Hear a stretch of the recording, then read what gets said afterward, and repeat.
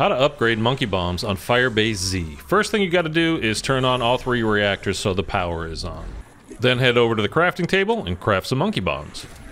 Round up a horde of zombies around the reactor and throw the monkey bomb down on this metal plate that's around each of the reactors. Make sure it's down on the metal plate and just get kills near the reactor. All you need to do is get a total of 50 kills with the monkey bombs around the reactors, again on that metal plate. You'll know you've completed it when you throw the monkey bomb, and there is a bright red glowing light around it as you can see right there, and it also plays different music now. It's kind of an 80s hip-hop tune, and the zombies all dance to it. And that's